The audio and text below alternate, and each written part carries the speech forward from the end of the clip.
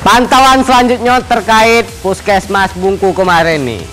Jaksa penuntut umum Kejaksaan Negeri Batanghari melimpahkan berkas perkara dua tersangka baru selaku pokja dalam perkara tindak pidana korupsi pembangunan Puskesmas Bungku ke Pengadilan Tindak Pidana Korupsi Pengadilan Negeri Jambi.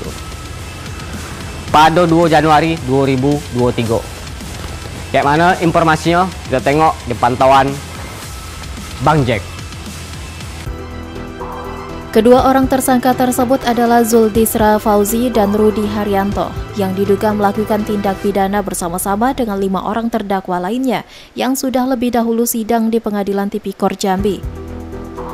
Dalam berkas perkara, kedua tersangka didakwa sesuai dengan pasal 2 ayat 1, contoh pasal 18 Undang-Undang Nomor 31 Tahun 1999 tentang pemberantasan tindak pidana korupsi, sebagaimana telah diubah dengan Undang-Undang Nomor 20 Tahun 2001 tentang perubahan atas Undang-Undang Nomor 31 Tahun 1999 tentang pemberantasan tindak pidana korupsi Junto pasal 55 ayat 1 ke 1 KUHP sebagaimana dakwaan primer.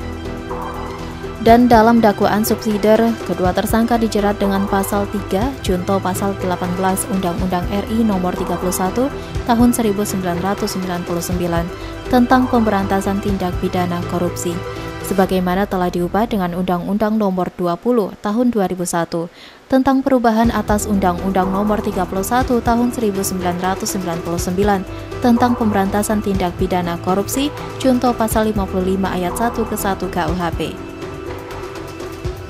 Dalam perkara tersebut, tersangka selaku Pokja memenangkan tender untuk PT Mulia Permai Laksono dengan nilai kontrak sebesar 7,2 miliar untuk pembangunan gedung Puskesmas Bungku dan menerima suap sebesar 70 juta rupiah dari PT Mulia Permai Laksono dari proyek pembangunan gedung Puskesmas Bungku.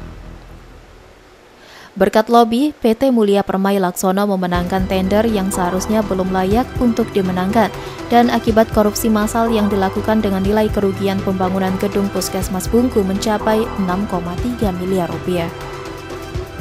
Iqbal, Jack TV, melaporkan.